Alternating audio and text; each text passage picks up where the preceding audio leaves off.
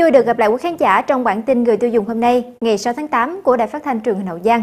Trước khi vào chương trình, mời quý khán giả đến với những điểm tin chính của ngày hôm nay. Ban quản lý an toàn thực phẩm thành phố Hồ Chí Minh chỉ đạo sẽ xử phạt thật nặng hành vi kinh doanh thực phẩm bẩn không đảm bảo. Hơn 100 kg mỡ heo đang trong quá trình phân hủy, siêu cập bến bàn ăn của thực khách. Phớt lờ cảnh báo nguy hiểm, giới trẻ dẫn đổ xô mua rồi mini về làm thú cưng.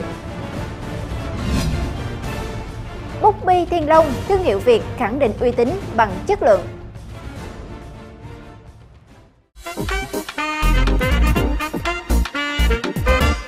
Thưa quý khán giả, trước thềm năm học mới, nhiều bậc phụ huynh tất bật lên kế hoạch mua sắm, chuẩn bị hành trang cho con em từ sách vở cho đến dụng cụ học tập. Đến nay, thị trường dụng cụ học tập đang rất sôi động và bắt đầu vào cao điểm tiêu thụ. Nhiều mặt hàng mới, nhiều chương trình khuyến mãi tung ra nhằm đáp ứng nhu cầu chuẩn bị mùa tụ trường cho học sinh, đồng thời để thu hút khách. Đặc biệt tại nhà sách Phương Nam, ngoài bán sách vở, dụng cụ học tập, khi phụ huynh mua nhiều còn được tặng kèm quà hay là giảm giá theo phần trăm hóa đơn. Với những ưu đãi hoành tráng tại nhà sách Phương Nam chính là dịp để các bậc phụ huynh chuẩn bị thật đầy đủ hành trang cho con em bước vào năm học mới thành công nhất. Nhiều mặt hàng như sách, học cụ, ba lô, băng đĩa được ưu đãi tối đa lên đến 50%.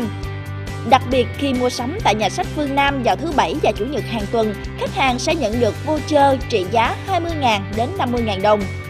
Chương trình sẽ áp dụng tại tất cả các nhà sách Phương Nam trên toàn hệ thống từ nay cho đến hết ngày 5 tháng 9 năm 2018. Mùa tụ trường năm nay, giá cả của các mặt hàng phục vụ học sinh không tăng đột biến. Hàng Việt được các bậc phụ huynh lựa chọn nhiều vì giá cả và chất lượng hợp lý. Các mặt hàng sách vở, dụng cụ học tập do Việt Nam sản xuất năm nay đã có nhiều cải tiến về chất lượng, mẫu mã và nhận được sự phản hồi tích cực từ người tiêu dùng. Với những cái tên như Thiên Long, Hồng Hà, Bến Nghé, Vĩnh Tiến vẫn tiếp tục chiếm ưu thế. Chúng tôi sẽ tiếp tục thông tin đến quý khán giả vào phần cuối của chương trình. Một trong những thương hiệu Việt không chỉ thành công tại thị trường nội địa mà còn phát triển dương ra thế giới. Còn bây giờ sẽ là những tin nóng về hàng gian, hàng giả, hàng kém chất lượng mà chúng tôi vừa cập nhật.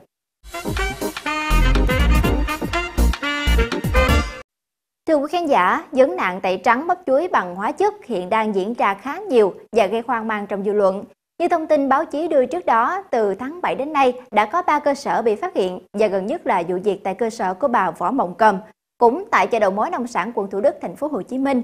Được biết, ngoài bị phạt với số tiền là 34 triệu đồng, mới đây ngành chức năng đã có thêm hình thức phạt bổ sung.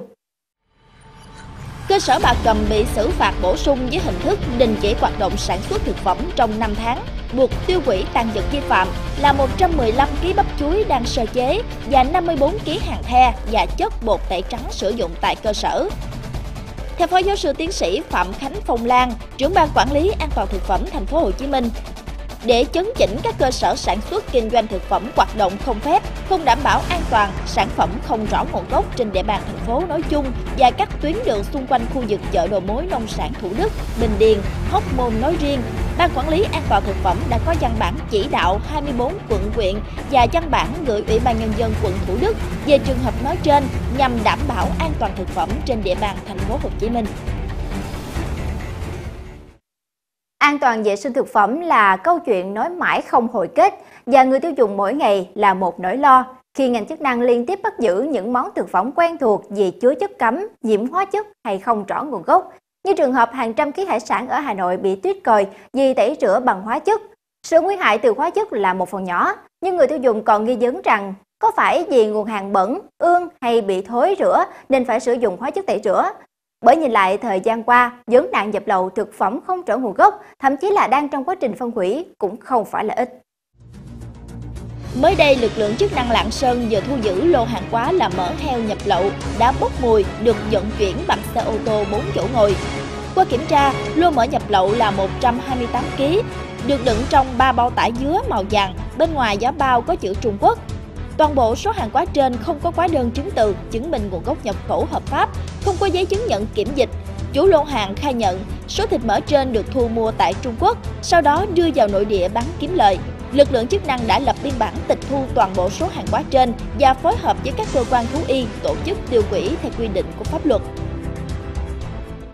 Thưa quý khán giả, tin từ Chi cục Quản lý thị trường tỉnh Tây Ninh cho biết, vừa mới đây đội quản lý thị trường số 3 cùng đội cảnh sát kinh tế huyện Hòa Thành đã kiểm tra phát hiện một cơ sở tại ấp Long Thành, xã Long Thành Trung đang có hành vi sang chiết thuốc bảo vệ thực vật hết hạn sử dụng sang chai mới có nhãn hiệu là Agritop 550 EC loại 480 ml. Tại hiện trường, tan vật gồm 169 chai thuốc bảo vệ thực vật thành phẩm có nhãn hiệu Aritox 550 EC loại 480 ml, 550 EC loại 480 ml, 2.120 vỏ chai, 1.092 nắp chai. Bình inox có van xả loại 10 lít dùng để lọc thuốc bảo vệ thực vật và một khay lọc inox dùng để lọc tạp chất cặn của thuốc bảo vệ thực vật. Qua làm việc, đối tượng không xuất trình được giấy chứng nhận đăng ký kinh doanh, hóa đơn chứng từ chứng minh nguồn gốc xuất xứ nguyên liệu. Bước đầu, đối tượng khai nhận đến nay đã bán ra thị trường hai lần, số lượng 338 chai thuốc nhãn hiệu Aritox 550 EC với giá 95.000 đồng một chai. Đoàn kiểm tra đã tạm giữ toàn bộ số tăng vật liên quan để làm rõ vụ việc. Phân bón có vai trò quan trọng quyết định năng suất của cây trồng. Việc sử dụng phân bón chất lượng và hiệu quả sẽ giúp cho cây trồng hấp thu, nâng cao năng suất và chất lượng. Tuy nhiên, trước việc phân bón giả kém chất lượng vẫn đang hoành hành trên thị trường, người nông dân một nắng hai xương đang là đối tượng chính phải gánh chịu hậu quả. Bởi người nông dân không bao giờ phân biệt được đâu là phân bón thật, đâu là phân bón giả, phân bón kém chất lượng. Khi bón xuống ruộng cây lúa thì không phát triển thì người nông dân mới biết nên mới nói ngành chức năng phải cần làm mạnh, phải kiểm tra tận gốc từ cơ sở sản xuất cho đến các công ty, đại lý và có chế tài xử phạt thực nặng cho những gian thương như thế này.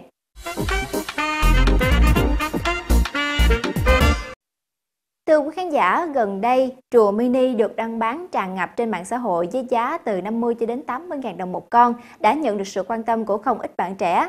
Số lượng đặt hàng nhiều vô kể, chỉ cần chậm chân một chút là cách có thể phải đợi dài ngày mới có hàng. Sở dĩ loại rùa này được giới trẻ yêu thích là do kích thước cơ thể của chúng rất nhỏ, có thể nằm lọt trong lòng bàn tay.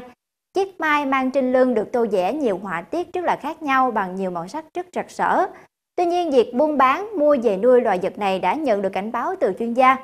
Bởi đây chính là rùa tay đỏ. Trước đó, Bộ Nông nghiệp và Phát triển Nông thôn đã ban hành danh sách cấm buôn bán, gây giống các loài thủy sản, sinh vật ngoại lai, có nguy cơ xâm hại đến môi trường và sức khỏe, và rùa tay đỏ là một trong số con nằm trong danh sách đó. Tuy nhiên dù biết chắc rùa mini là rùa tay đỏ, người bán vẫn cứ bán, còn người mua vẫn mua vì tâm lý nuôi một con không ảnh hưởng gì. Như vậy đối với người bán họ đang làm trái với lệnh cấm buôn bán, nuôi thả, gây giống của Bộ Nông nghiệp và Phát triển Nông thôn. Vì loài rùa này làm nguy hại cho môi trường tự nhiên và làm mất cân bằng sinh thái. Về phía người nuôi, dù chỉ nuôi một con Loài rùa này có thể làm ảnh hưởng trực tiếp đến sức khỏe con người. Cụ thể, rất nhiều báo cáo cho biết rùa tay đỏ mang trên mình vi khuẩn Salmonella, một dạng vi khuẩn gây bệnh thương hàn. Chúng có thể lây truyền vi khuẩn này cho người nuôi bất cứ lúc nào. Vi khuẩn này hoạt động mạnh hơn ở những người có hệ miễn dịch yếu, đặc biệt là người già và trẻ em. Theo thống kê từ Trung tâm Phòng chống dịch tễ tại Mỹ, có tới 70% người nhiễm khuẩn Salmonella tại Chicago là do tiếp xúc với rượu tay đỏ. Người nhiễm khuẩn có thể bị tiêu chảy, đau bụng dữ dội, sốt cao, trường hợp nặng có thể dẫn đến tử vong. Hàng năm có khoảng 600.000 người chết vì thương hàn trên thế giới. Không chỉ có thế, những người nuôi rùa tay đỏ làm thú cưng đã đem thả chúng xuống ao, hồ sẽ khiến cho số lượng và địa bàn cư trú của loài này phát triển nhanh, làm ảnh hưởng đến môi trường sống của các loài khác.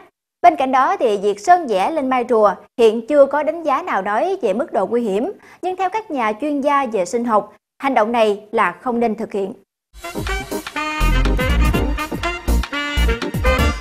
Thưa quý khán giả, chuẩn bị đồ dùng học tập cho năm học mới, dạo một vòng quanh các nhà sách, các tiệm tạp hóa, sinh viên, học sinh dễ bị choáng ngợp trước các thương hiệu 100% made in Việt Nam như là Tiên Long, Hồng Hà, Vĩnh Tiến. Chính sự thành công ở thị trường nội địa đã có những doanh nghiệp thừa thắng xông lên tiến ra biển lớn, như các sản phẩm của Thiên Long đã xuất sang một số nước như là châu Á, châu Úc, châu Âu và cả châu Mỹ. Đây thực sự là một niềm vui, niềm tự hào lớn của các công ty sản xuất bút viết tập dở của Việt Nam. Khoảng hơn 20 năm về trước, cụm từ bút bi Thiên Long có lẽ đã quá quen thuộc với nhiều người, đặc biệt với học sinh, giáo viên và công chức. Tuy nhiên, khuyết điểm của bút bi ngày ấy là ngòi to, làm nét chữ không được đẹp. Tiếp thu ý kiến từ khách hàng, bút bi Thiên Long đã dần cải tiến và đã đáp ứng được yêu cầu của người tiêu dùng về cả chất lượng lẫn mẫu mã. Đến nay, từ một công ty chuyên sản xuất bút bi, Thiên Long sớm dạch ra cho mình mục tiêu chiến lược là phát triển văn phòng phẩm. Hiện công ty đã có nhiều dòng sản phẩm nổi trội như bút viết thông dụng Thiên Long, bút viết cao cấp Biner, dụng cụ văn phòng và rất nhiều chủng loại sản phẩm khác đang kinh doanh ở thị trường tạo được niềm tin yêu của người tiêu dùng cả trong và ngoài nước. Thương hiệu Thiên Long bắt nguồn từ sản phẩm bút bi đã gây dựng được uy tín và sức lan tỏa rộng, tạo nên một khởi đầu tốt đẹp cho việc phát triển thành văn phòng phẩm. Bên cạnh đó thì sự đa dạng về mẫu mã và chất lượng được đánh giá cao vì mức giá vừa túi tiền của sản phẩm Thiên Long đã thu hút người tiêu dùng ở cả phân khúc bình dân và cao cấp.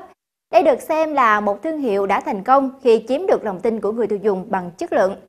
Thông tin vừa rồi cũng đã khép lại bản tin người tiêu dùng hôm nay của truyền hình Hậu Giang. Huỳnh Như xin được nói lời chào tạm biệt và hẹn gặp lại quý khán giả vào chương trình ngày mai lúc 17 giờ 45 phút.